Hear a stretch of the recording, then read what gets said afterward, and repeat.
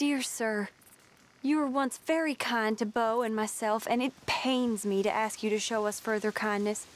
But I have nowhere else to turn, and nobody else upon whom I can impose. I will, of course, pay you handsomely for your troubles. My family have turned quite mad and are threatening to send me away to stop my work, which they say is disgracing them. As if their history of absolute moral depravity, utter debauchery, and perpetual drunkenness did not disgrace them enough. I must escape, yet I am kept prisoner here. Can you help? Most days I am to be found at the cabins on the plantation. The main house and all it stood for are thankfully no more. Yours faithfully, Penelope Braithwaite.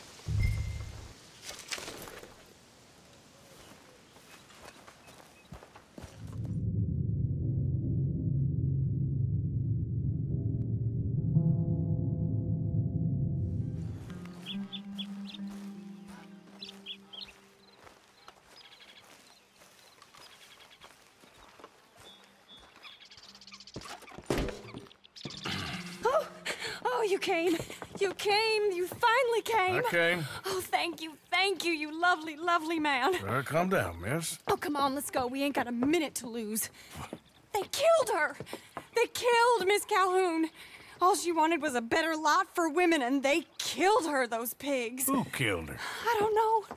My cousins, probably, or, or Beau's. Well, you met them. They're animals. Not even animals, monsters. Monsters, if God had lost all his powers of imagination. Can you. Can you please take me to the train station? Beau'll be waiting.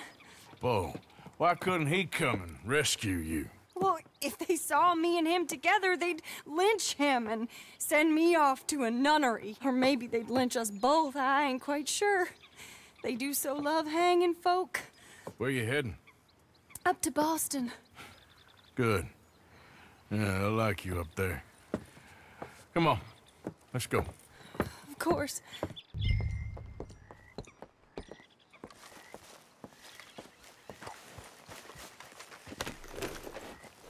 I'm in your hands. Just get me to Rhodes Railway Station. Okay, let's try and get you a train. And Beau's just waiting at the station in the hope you'll show up, or I'll show up to help you show up. He goes to there every day he can. Makes up some excuse or other. I said he would see me there one day soon, and today he will. God willing. Well, well, if he's there, that's true love, all right. I've hardly seen him since the rally. They watch me so carefully, and he's waited, or so his letters say. Our families won't let us out. And then all that business with Aunt Catherine and my cousins. You saw the house. And then Leigh Gray and those boys killed. So much bloodshed. I- You'd think this could be a new beginning, but everyone left alive. They're even more angry. Maybe anger's a complicated thing to let go of. Something good has to come out of this awful, awful feud. That's what I've been hoping. Beau and I have to be better. Our families were here for years and years. Sometimes I feel like we can't just leave death and, and pain and ruination behind us. Plenty before you have. Plenty will again. But, yeah, as far as it goes, get out, don't look back, make something decent of your lives. He's a good man, isn't he? Beau. There are worse. He's kind and he's caring and he's strong. I'm sorry, I, I didn't mean to laugh.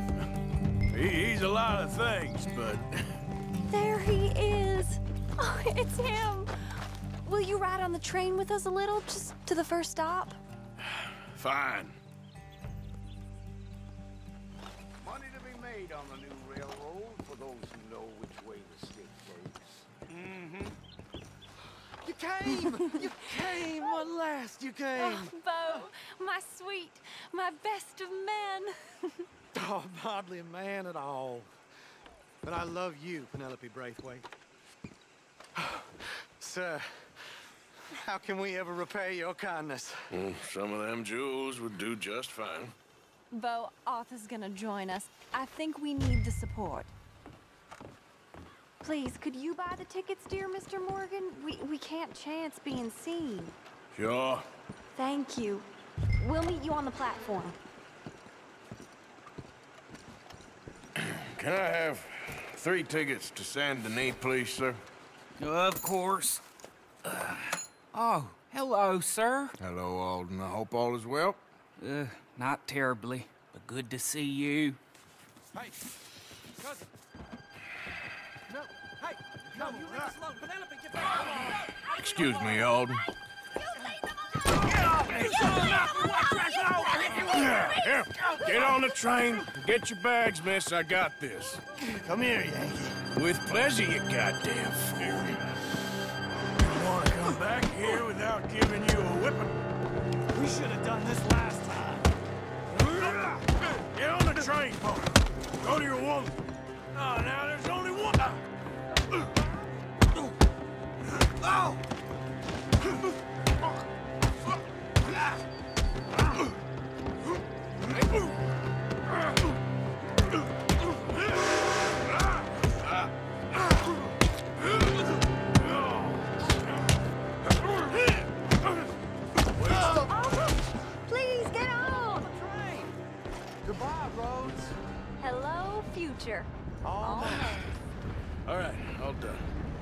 Quite a family. you got there, son. I know. Charming to the last. Then again, my uncle used to keep his own half-brother as a slave, so what do you expect? Good manners? My uncle used to say things were better the way they were when he could rape and kill with impunity, and he didn't have to work a day in his life. Both our families. There's good people in this county, but our families bullied them and drove most of them off, whites as well as blacks, all over this silly feud. Yeah, Well, how delightful. Oh, my lord. What? Oh, I think it's my second cousin. What is with it with all these goddamn cousins? I think they found out about the jewels. All right, keep your heads down. I'll deal with this. Jewels? I knew you had some damn jewels. Ah! The hell!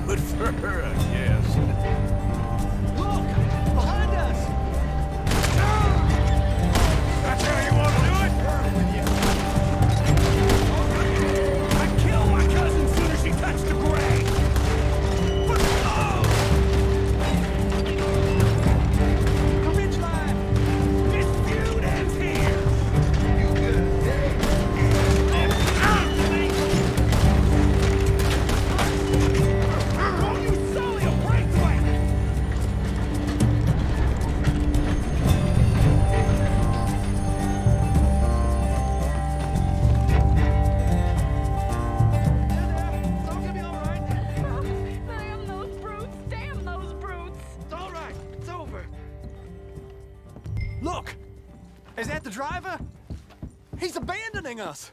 Hold tight, all right? I'll take a look up front. What will you do? I'll figure it out. Damn it, you did run. Remind me to rob your trains, mister.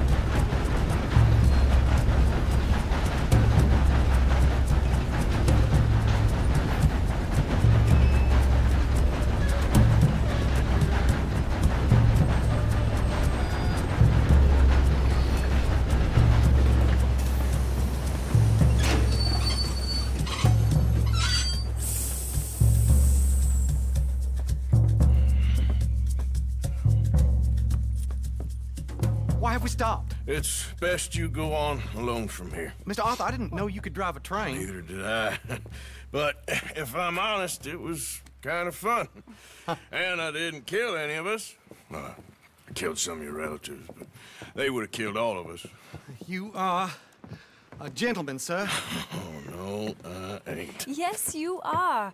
Here, I ain't got much money, but these sapphires are worth a lot of money. Old family heirloom. That Braithwaite treasure. I couldn't take it. No. Let's get you off to Boston before any more of your relatives show up. That might be wise. Hey, you there. Yeah? This couple is heading up north to the Boston line. They got money, they'll pay you on arrival. That work for you? Yeah, sounds fine. Get on in. Hey, uh, you carry protection on a journey like this? I wouldn't be much of a stage driver if I didn't. Goes everywhere I do. Hey! Miss Braithwaite is gonna hold on to this until arrival. Hmm? On account of the treasure on your person. I don't know how to thank you.